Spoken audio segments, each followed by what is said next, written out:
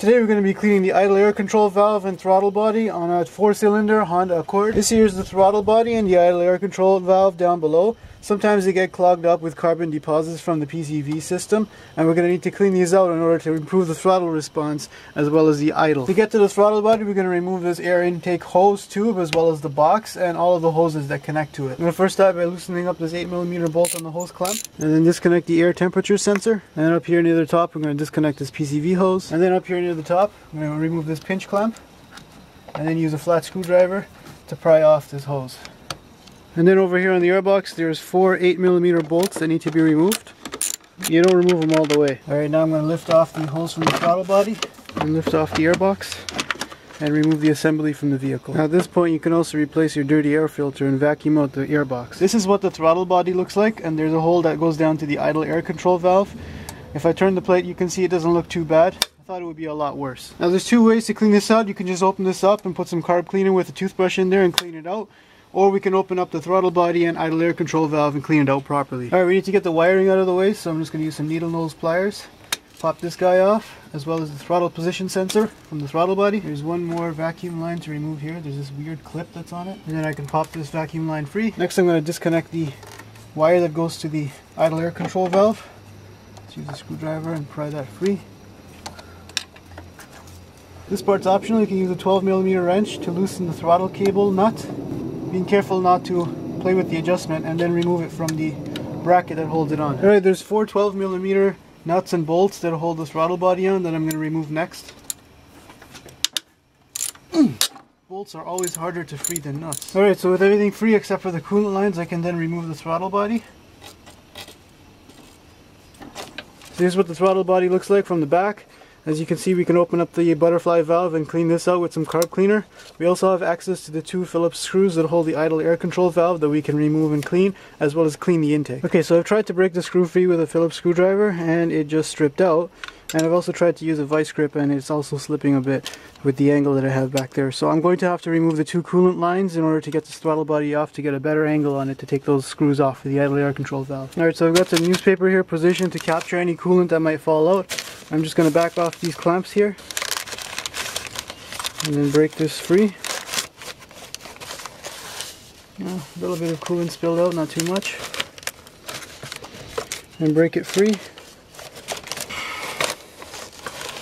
And a little bit more coolant spills out of that one. That's a lot of coolant coming out. Alright, you can jam one of these screws from the throttle body in there to stop more coolant from coming out. This here's the throttle body removed from the vehicle. You can see it's easier to clean the butterfly valve once it's off. This is your throttle position sensor, a vacuum line, and the two coolant lines plugged into here. This here's the idle air control valve. These are the two screws that we need to remove. They're stripped out with the Phillips screw, so I'm just going to use a vice grip here, clamp that down, and give it a twist to break it free. Yeah, that one's broken free. And this one here, yeah, this one's free as well. And now I can turn these out with a regular screwdriver. And of course now with those two screws removed we have the idle air control valve. This here is the idle air control valve. It's basically a solenoid that controls the air intake in and out when the car is at idle and the throttle body is closed. As you can see there is a little bit of carbon deposit in there and I'm going to be using a little bit of carb cleaner in order to clean that out. Make sure you use gloves with carb cleaner because it can irritate your skin. We're going to spray a little bit of this in there. Then I'm going to use my dad's toothbrush and clean out all the carbon deposits inside of here. Next I'm going to work on the throttle body. And again use a toothbrush. Clean out all the carbon deposits. You can also use an old rag and wipe it down. And make sure you get into this passage here where it goes into the idle air control valve. Alright, I've got the throttle body nice and clean on both sides. You also want to make sure that this mating surface is clean, otherwise coolant can leak out. And here's the cleaned up idle air control valve. Then I'm going to mate the two together and make sure that the gasket is nice and flat. And then install my Phillips screws. Now you don't want to tighten these too tight because next time you should be able to take this off in the car. Make sure that this mating surface is clean against the intake of the car. Now before I install the throttle body onto the car, I'm going to clean up the air intake a little bit. And again use my brother's toothbrush and clean out all the carbon deposits. And then give it a quick wipe with the rag. Alright, this is really stuck. Don't try this at home, guys. Alright, so I can't get the screw out for the mass airflow sensor. So we're just going to leave that for now. But if you could get it out, it's good to clean it with some electrical contact cleaner. Alright, so I've got some newspaper down in here. I'm going to first remove the plug from this lower hose. And then I'm going to bring in my throttle body and connect it here. trying to avoid the leaks. And then use the pliers to bring in this pinch clamp and then replace the other coolant hose into the throttle body and replace this pinch clamp over here. Now at the back here I'm going to replace my throttle cable and then we're going to replace the throttle body back onto the studs of the intake and then catch the 12 millimeter bolts and then we're going to snug down these 12 millimeter bolts and nuts. Next I'm going to replace the accelerator cable making sure I don't change the adjustment and then tighten this down with a 12 millimeter wrench. You want to make sure there's just a very slight play in the throttle when it's at idle. Before I put the airbox back on, I'm going to clean out the airbox with a vacuum. Next I'm going to replace this vacuum holes on the throttle body and then replace the throttle position sensor. Then I'm going to replace the air filter. Then I'm going to replace the airbox with the intake tube. And of course tighten down your 8 millimeter bolts for your air filter. Then at the back here we're going to replace this tube. And then replace this PCV hose here. And then replace the airflow temperature gauge. And then tighten down the hose clamp for the throttle body hose. So it looks like I forgot to plug in my idle air control valve so I'm just going to plug that in right now.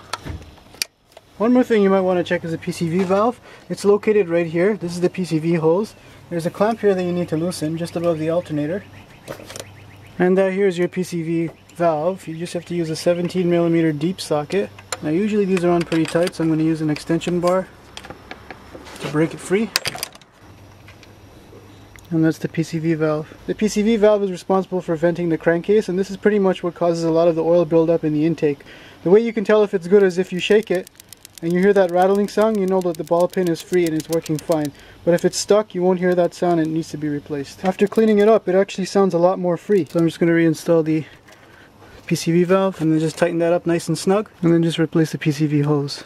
Once everything's put back together, we're going to give it a quick start to make sure everything's working well before we reset the computer and refill the coolant. Now you might have to give it a little bit of gas for the throttle body cleaner to burn through. Now since we opened the throttle body, we introduce air into the cooling system, so we need to bleed it. So first we're going to open the coolant reservoir, and then we're going to open the radiator cap and leave it loose. Then I'm going to pull the negative terminal of the battery to reset the computer. Make sure you have your radio code before you do this. Then we're going to top off the coolant jug. I'm just using a little bit of deionized water. And after chugging your favorite adult beverage, I'm going to reconnect the battery. Then we're going to start the vehicle. Well, at least my radio doesn't have a radio code. And then we're to allow the engine to run with the radiator cap loose until the coolant fan kicks in to allow any air to escape from the cooling system. And you might want to also turn this over to the hot side. You can hear that burping in the heater core to burp out any air from the system. During this time, the computer will relearn idle with the new clean throttle body and idle air control valve. You can kind of see as the steam is escaping, the bubbles are coming out. You can also speed up the process by holding the RPMs a little bit higher. Okay, I think that should be it. The coolant system has now been bled. You can close everything back up. Make sure you check for leaks near the throttle body where you disconnected the throttle body lines. Finally, we're going to double check and top up the coolant levels in both the reservoir and the radiator. And that's the procedure for cleaning the throttle body and idle air control valve. I can definitely feel that the idle is a bit smoother when I put it into gear. I'm just going to spray a little bit of that. Whoa.